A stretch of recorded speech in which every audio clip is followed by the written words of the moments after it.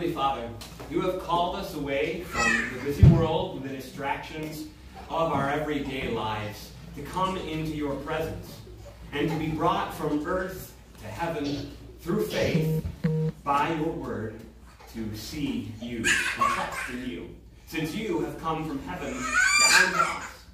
Oh, then draw our hearts away from all pleasures, days, and howl, that we, in faith, in your Son, in your word, and by your Spirit, might be drawn into an ever closer union and fellowship with you. And in this faith, might also grow every day in love for you and for one another as we walk the road to eternal life through Jesus Christ, your Son. Amen. We'll begin this morning with hymn 754.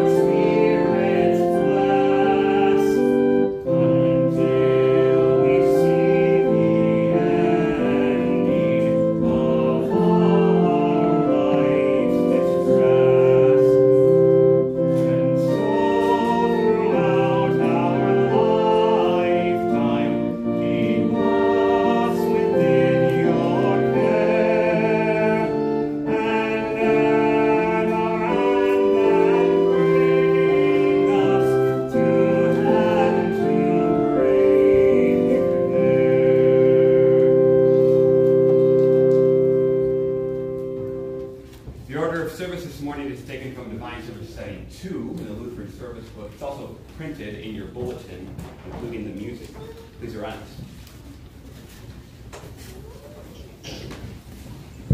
In the name of the Father, and of the Son, and of the Holy Spirit. Amen. Let us then confess our sins to God our Father. Most merciful God, we confess that we are by nature sinful and unclean. We have sinned against you in thought, word, and deed, by what we have done and by what we have left undone. We have not loved you with our whole heart. We have not loved our neighbors as ourselves. We justly deserve your present and eternal punishment. For the sake of your Son, Jesus Christ, have mercy on us. Forgive us, renew us, and lead us, so that we may delight in your will and walk in your ways to the glory of your holy name. Amen. Almighty God, in his mercy, has given his Son to die for you, and for his sake forgives you all your sins. As a called and ordained servant of Christ, and by his authority, I therefore forgive you all your sins in the name of the Father, and of the Son, and of the Holy Spirit. Amen. Continue with the introit, after which we'll speak to Gloria Patri.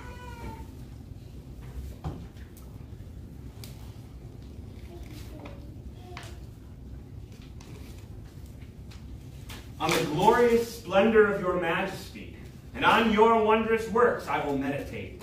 I will extol you, my God and King, and bless your name forever and ever. Every day I will bless you and praise your name forever and ever. Great is the Lord, and greatly to be praised, and his greatness is unsearchable. They shall speak of the might of your awesome deeds, and I will declare your greatness. They shall pour forth the fame of your abundant goodness, and shall sing aloud of your righteousness.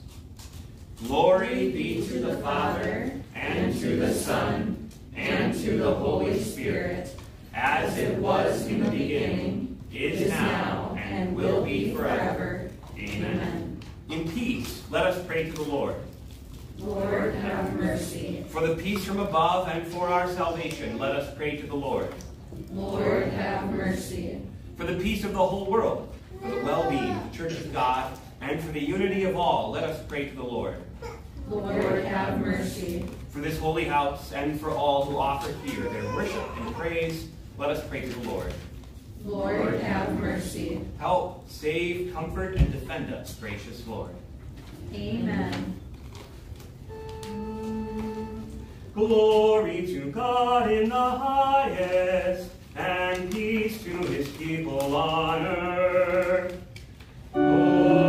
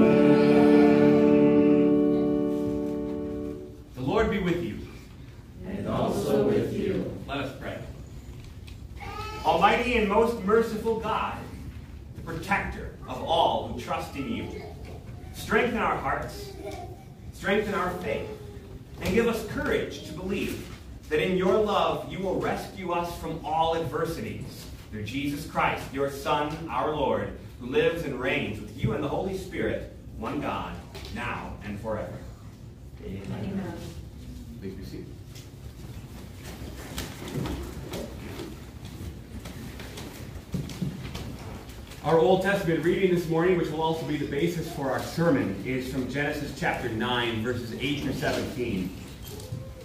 God said to Noah and to his sons with him, Behold, I establish my covenant with you and your offspring after you, and with every living creature that is with you the birds, the livestock, and every beast of the earth with you, as many as came out of the ark. It is for every beast of the earth.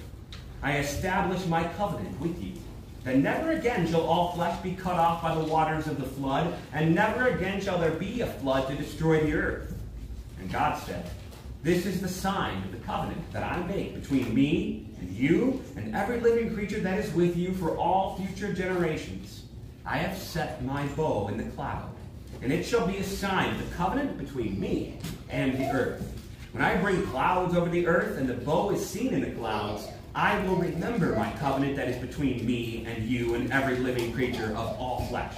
And the waters shall never again become a flood to destroy all flesh. When the bow is in the clouds, I will see it and remember the everlasting covenant between God and every living creature of all flesh that is on the earth.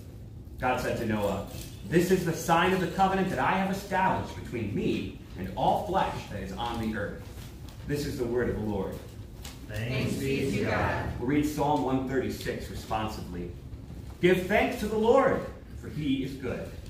For his steadfast love endures forever. Give thanks to the God of gods. For his steadfast love endures forever. Give thanks to the Lord of lords. For his steadfast love endures forever. To him who alone does great wonders. For his steadfast love endures forever. To him who by understanding made the heavens. For his steadfast love endures forever. To him who spread out the earth above the waters. For his steadfast love endures forever. To him who made the great lights for his steadfast love endures forever. The sun to rule over the day. For his steadfast love endures forever. The moon and stars to rule over the night. For his steadfast love endures forever. Our epistle reading is from Ephesians 3, verses 14 to 21.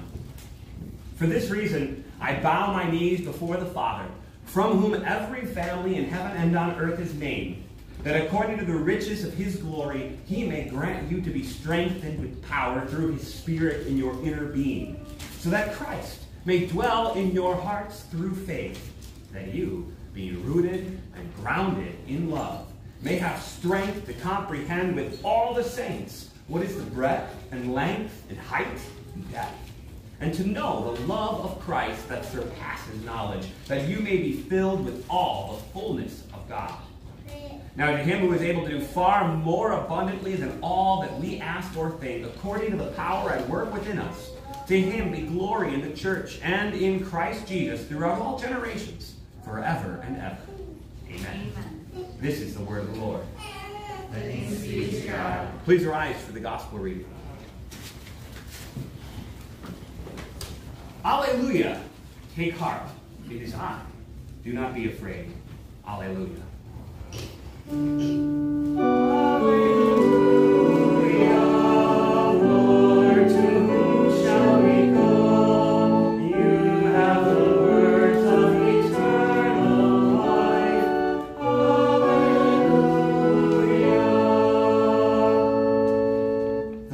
According to St. Mark, the sixth chapter.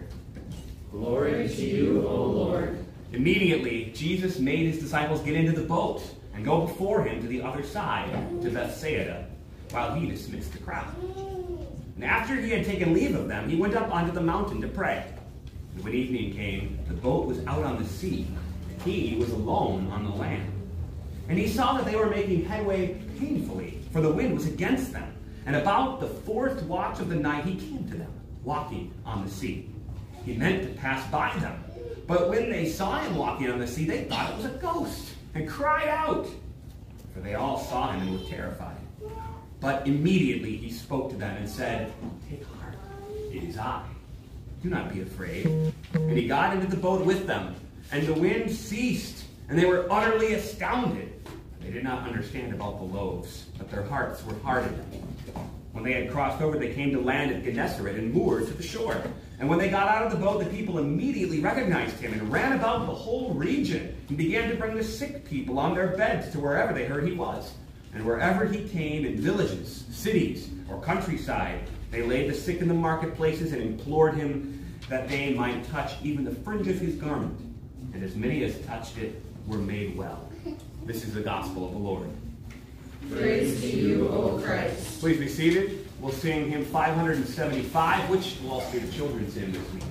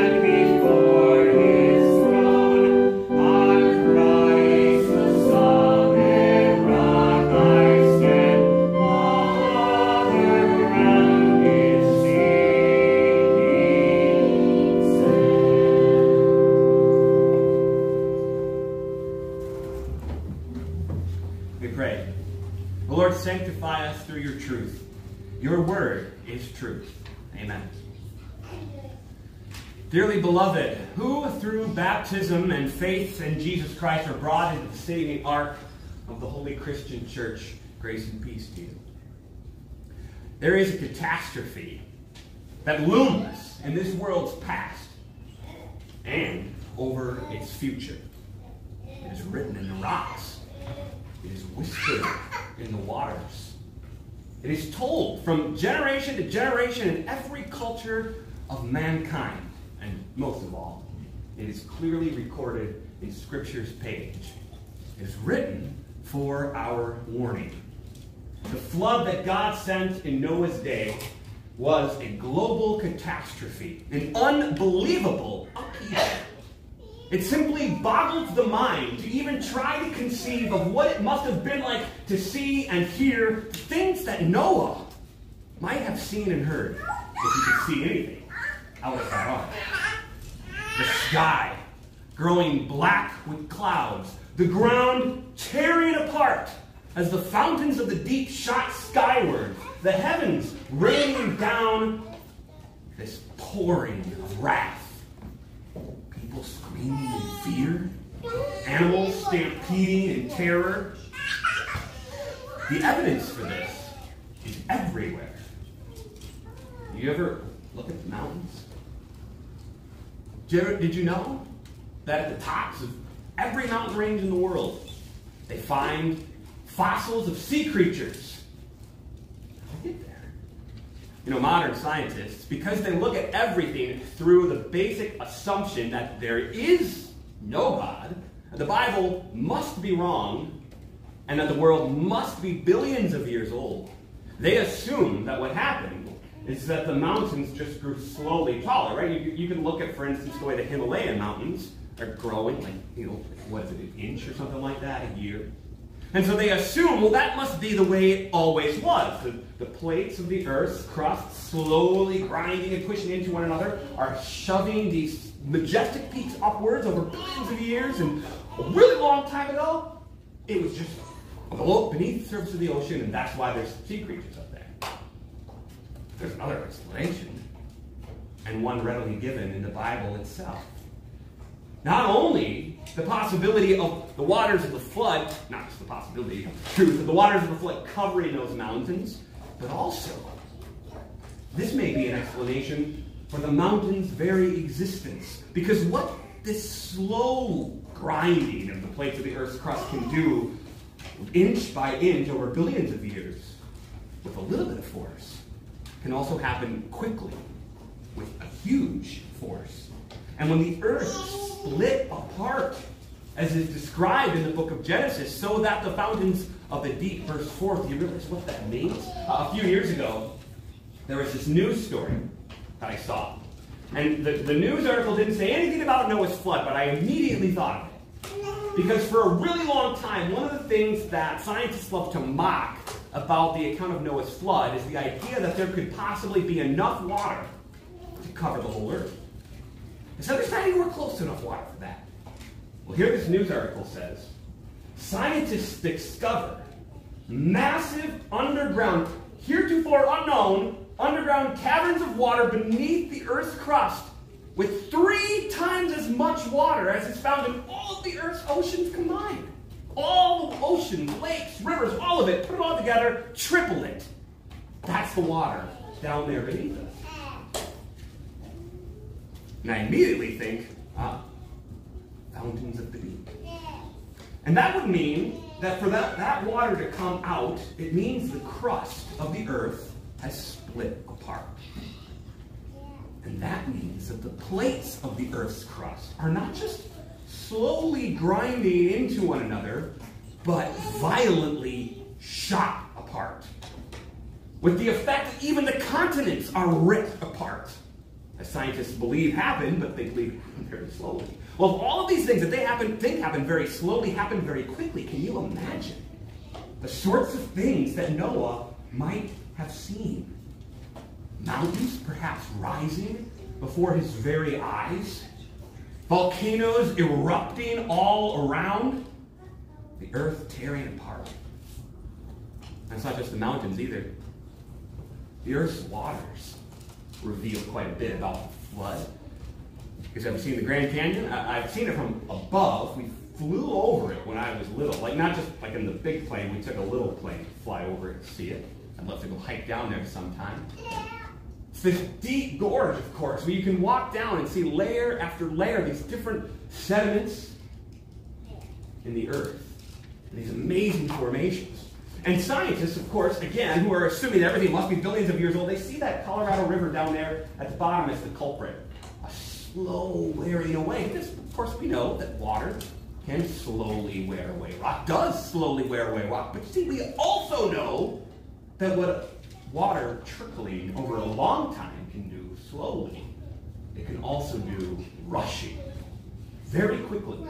We got examples of canyons being carved out in moments when huge amounts of water come rushing through. And of course, it's exactly what you have in the flood. Not just during the year that Noah was on the ark, but in the years afterwards when the glaciers form.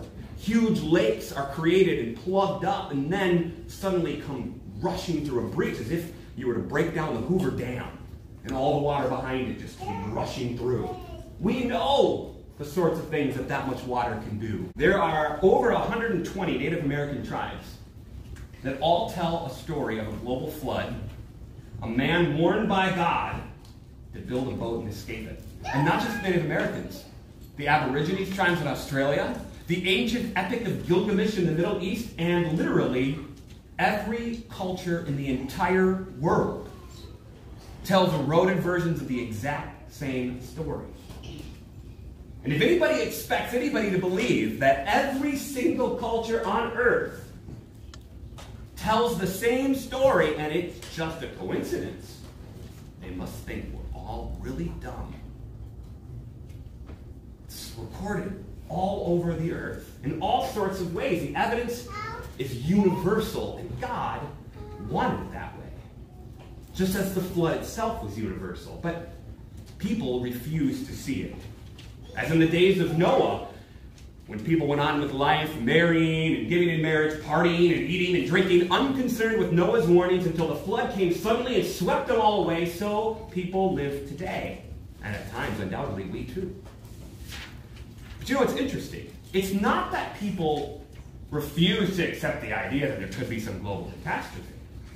People are, are kind of obsessed with the idea of an apocalypse, aren't they? They're always talking about it, wondering and worrying about what will bring this earth to destruction. Will it be global warming? Will it be a meteor? Will it be sun flares? Or maybe even an alien invasion? Will it be a deadly pandemic? Or a nuclear war? It's not even that hard to imagine most of these things happening. You've probably seen them in movies, read them in books. There's a countless. The Day After Tomorrow, The Walking Dead, The Martian Chronicles, The Sum of All Fears, Waterworld, The Passage, and I can just go on and on and on. People are fascinated by the apocalypse. They're kind of obsessed with the apocalypse. And they're terrified by it because, of course, some of these threats appear very real. It's frightening for people to hear scientists predict that cities like Miami and Seattle could be underwater by 2050. It's frightening to hear world leaders threaten nuclear war. And you know, as Christians, you shouldn't care about these things. And you shouldn't be so naive as to think that none of them could happen. You've read the Bible. And you know what people are like. You know the curse that sin has brought into this world. But certainly also, Christians, you need not fear any of these things. And the flood, and the promise that God made after the flood, and attached that sign of the rainbow, it gives you the reason why. First, because it tells you about the real threat the universal judgment that is coming again. And second, because it tells you about your hope and comfort in Jesus Christ, the universal Savior. You know, military tacticians know that one of the most important keys to victory is to get your enemy to think you're going to attack here, you're actually going to attack here. Or to think you're going to attack tomorrow, when you're actually going to attack tonight. It's like when a basketball player pulls a crossover and jukes the defender out of his shoes. One of the most uh, famous and massively successful military feints, that's what it's called, a feint, in history, was before the Allied invasion of Normandy in World War II. They went to great lengths to confuse the Nazis about where they were going to invade. They literally built an army of fake inflatable tanks and stationed them over in this other part of England to make them think that they were going to invade through Norway and not Normandy. They sent out hours and hours of fake radio chatter for the Germans to intercept, and it was massively successful. It was a huge part of their victory on D-Day. What does this mean for you? Be sober, be vigilant, for your adversary, the devil, prowls about like a roaring lion, seeking whom he may devour. See, the devil is a brilliant tactician, a liar, a deceiver who will do anything he can to fake you out. He wants you to be looking over here. And the real threat is over here. The real threat to each one of you, to every person in this world, is your own sin and God's judgment against sin. The devil wants you to be distracted from that. And one of the things that he can use to do that is all of these sort of like distractions about other potential apocalypses. Oh, you gotta be worried about this. Oh, you better freak out about this. So that you're not thinking about that, the true judgment. And this is one of the reasons God has in sending the flood. And not just in sending the flood, but in making the flood so universal and in making the flood so universally obvious. And then recording it in His Word to be proclaimed throughout the world so that people would know where the real judgment is coming from. And so that they would know not to be distracted by these other things. See, first, the flood teaches not to be distracted by other potential catastrophes. Because look what God said. That there would never, He would never again cut off all flesh with the waters of the flood as he had done. But you know, it's more than that. God didn't just say, hey, I'll never again send a worldwide flood, but maybe it'll be worldwide nuclear war. I didn't say I wouldn't do that. He, in chapter 8, he puts it this way As long as the earth remains, seed time and harvest, summer and winter, and cold and hot, heat, and day and night shall not cease. Maybe one way to think of this is that there will never again be any sort of the disaster. You know what I mean? Like the flood. You go anywhere in the world and you say the flood, and people are probably going to know what you're talking about. You can't do that with anything else. You can't say the war in every single place of the earth and have it mean the same thing. You can't say the hurricane or the volcano or anything else like that. There's never been anything else like the flood. And God's saying there never will be again. There never will be any universal disaster that will threaten the very existence of life on earth. And think what comfort and confidence this must have given to Noah and his family. They've just been through a year of the greatest trauma this world has ever known. They have seen unspeakably and hugely terrifying things. They've seen God's judgment unleashed in all of its power. And they know why.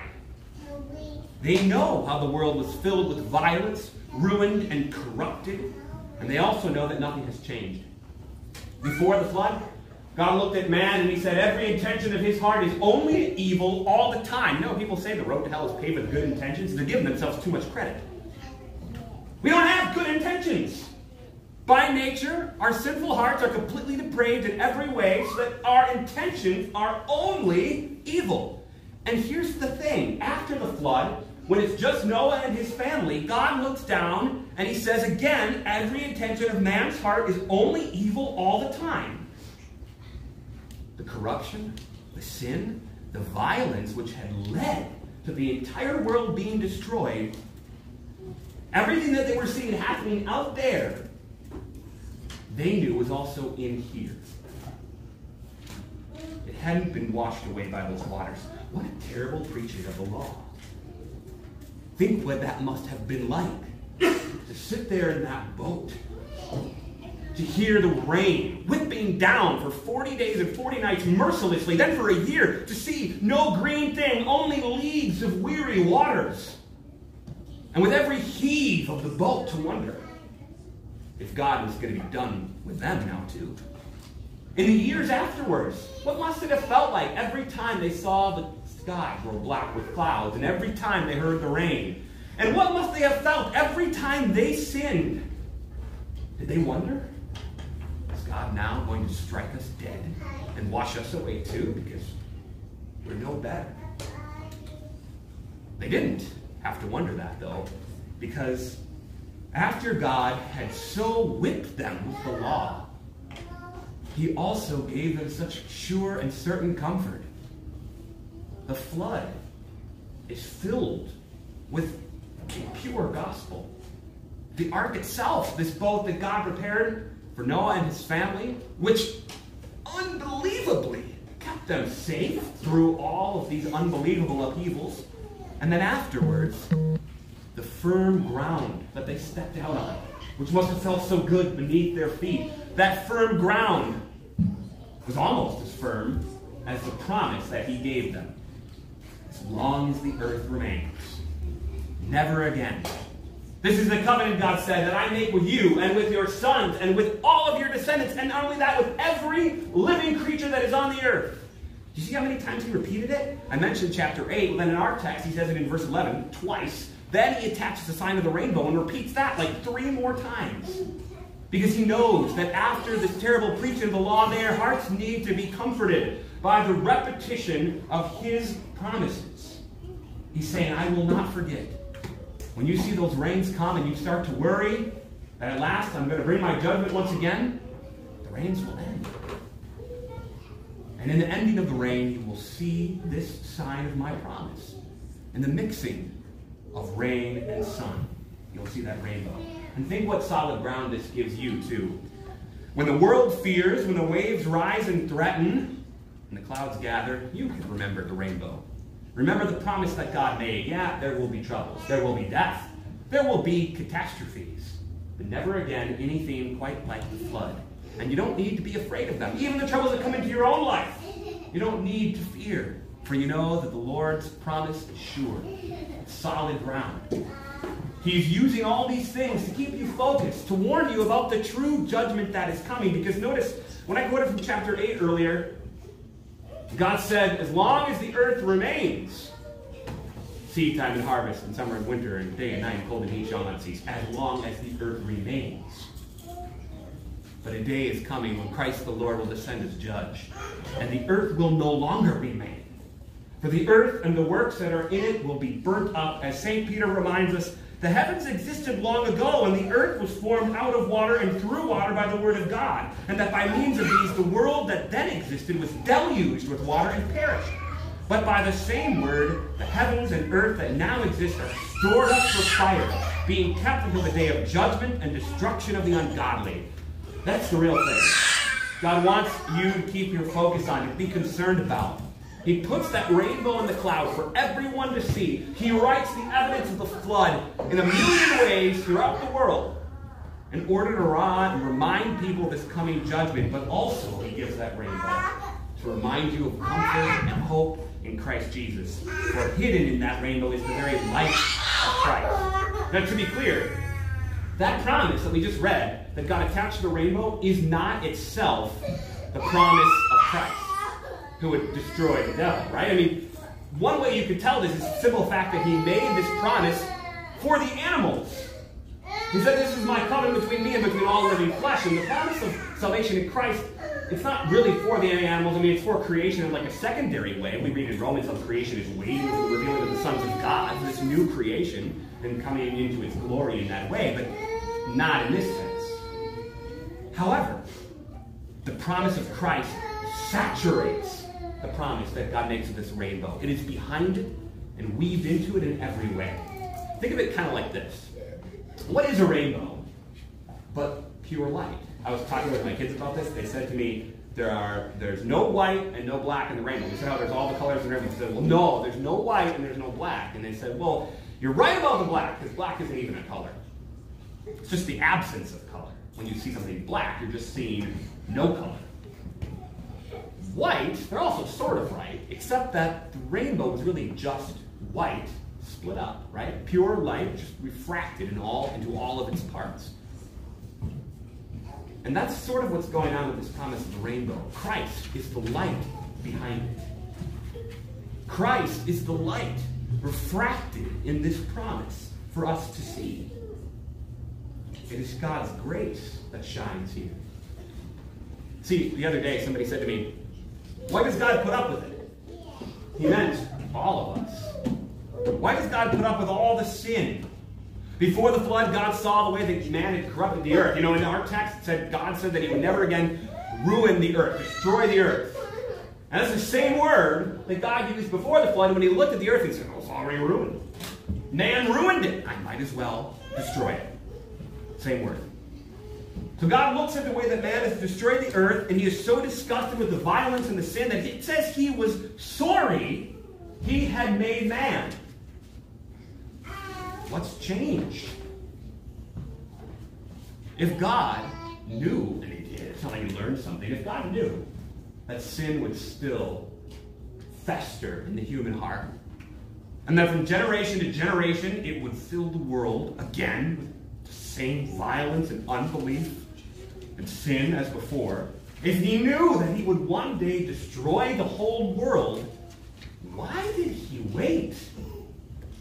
Why put up with it? Why abide another three or four or five thousand years of sin? Why put up with your selfishness and hatred and laziness and lovelessness every time you sin? Why not strike you dead on the spot?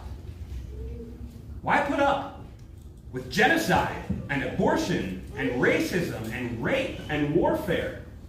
People ask this question all the time, don't they? They say, How could a good God allow all this suffering? How could he stand there and watch the world burn? And you know what they're really asking? They don't know they're asking this. What they're really asking is, God, why did you just kill everyone? Because that's how he would get rid of the evil, since every intention of man's heart is only evil all the time. But the answer, of course, is Jesus. The answer is grace. God waited. God postponed his wrath in order to send you salvation. Jesus is the way of escape. Jesus is the light of the world who came to the cross. There, in the darkness, beneath the thunderclap of the Father's wrath against your sin, he shed his blood. And the light of Easter morning shines, as it were, through that blood is ref- and is refracted into a thousand hues of grace, a rainbow of forgiveness for all the world. As in the flood, God washed the entire earth in judgment. As in the rainbow, God gives this promise for all people to see, so in Christ, God has traced a cross over all the earth. And what he has done universally in Jesus Christ, he brings to you personally in your baptism. Peter tells us that baptism is the antitype to the flood, that, that the flood pictures baptism. He says, Baptism now saves you. It saves you from this wrath of God. It saves you from the death and evil of your own heart because in baptism you are bound to Jesus Christ. You are brought into Him, who is Himself, the ark, who carries you through every trouble and disaster of this life and through the terrible judgment of the last day to the new heavens and new earth which He alone will create. Baptism binds you to Jesus, gives you His forgiveness, which is for every child of Noah. He said, For you, all of your descendants after you. He assures you of this. As the rainbow stretches from one end of heaven to the other, so Christ is for every man, woman, and child. See, Jesus is the new the.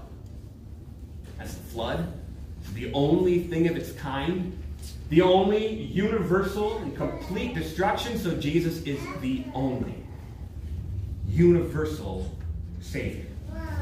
He is the only and all sufficient Redeemer.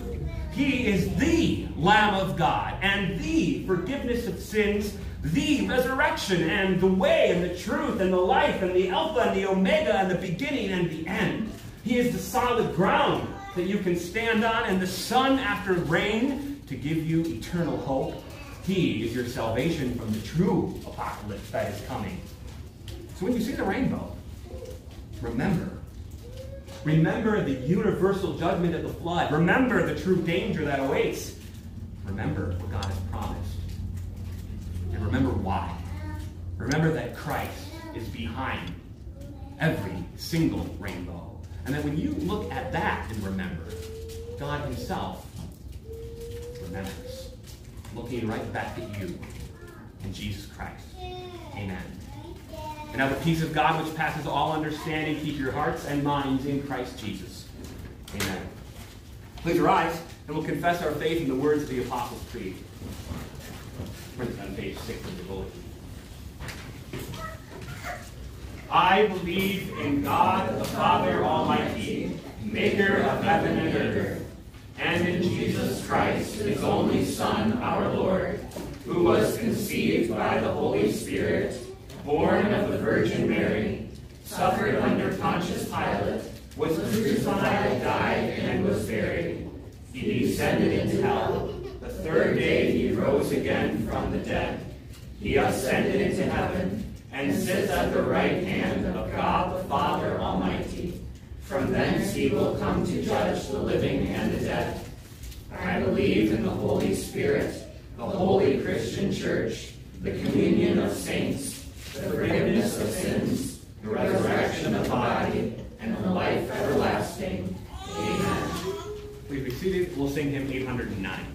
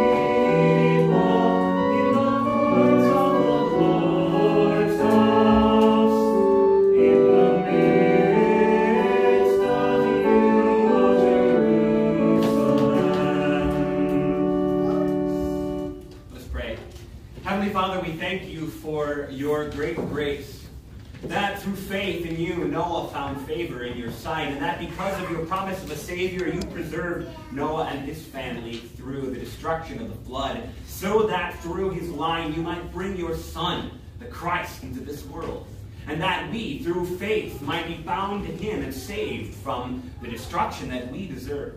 Grant, Lord, that this preaching of the gospel might sound forth through all the world, that many hearts might hear and repent and believe we ask for your blessing upon your gospel wherever it is preached and heard. Give boldness to our pastors and teachers and missionaries here and in other lands.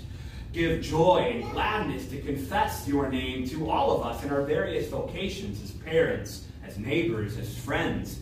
To have the boldness to preach your name to those who need to hear it. To have your compassion to show your love to all around us so that they may see our good works You prepare in us and glorify you, our Father in heaven. We ask, Lord, that you would bless those who are weak, who are sick, who are sad, who are lonely, who are doubting.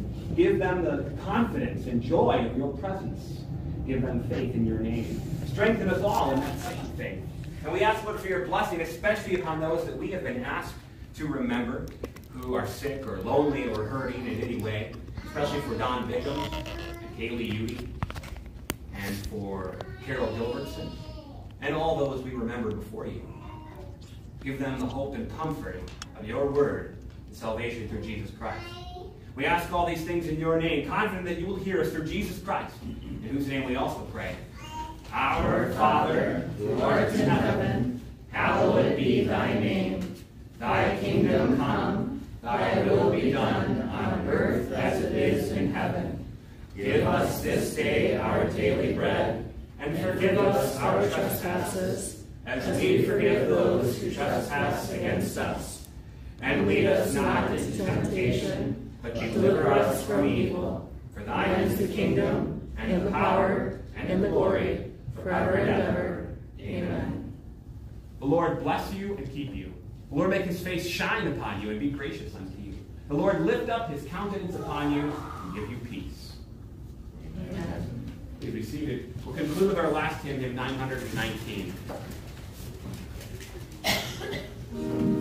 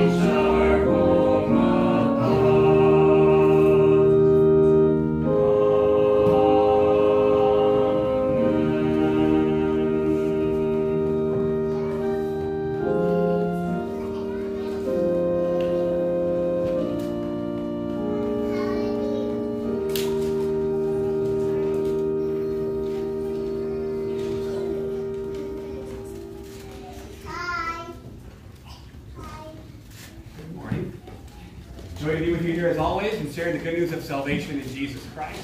Welcome also to our visitors. I know Rich and Kathy. Was thinking Kathy. From the side of Claire. Um, you probably didn't know you were going to be seen like a, a drop test today at church. Hasn't done that in months, but whatever. Thanks, Experience. Uh, so, some of you probably thought there was going to be a voters meeting today. Little did you know, there would not be. A, a few different things happen, so there's not going to be a voters meeting today. What was the date that we talked about? August 11th? A Wednesday. So that draws into something else. Our, Wednesday, our, our midweek situation is fluid at this moment. We had been doing the midweek Wednesday service as a repetition of the Sunday service, partly in order to give like more opportunities so we could have greater like social distancing available. No one's coming to Wednesday anymore. People have all slowly kind of migrated back to Sunday morning. And so we're going to be using that differently. So sometimes we'll use it for church functions like voters meeting. Um, at some point, there may be a uh, Vesper service happening again, but it might be a different day. I'm trying to figure out how to use that to best serve people who maybe have hard time coming on Sunday morning. And that might not always be Wednesday night. So uh, as that happens, I'll announce it to you. So this week, Wednesday, uh, not sorry, sorry. This week, midweek, I don't know what's happening yet. Next week, Wednesday, is voters meeting. Um, I'll send out an email about that. Uh, so today there is Bible study. There is not Sunday school.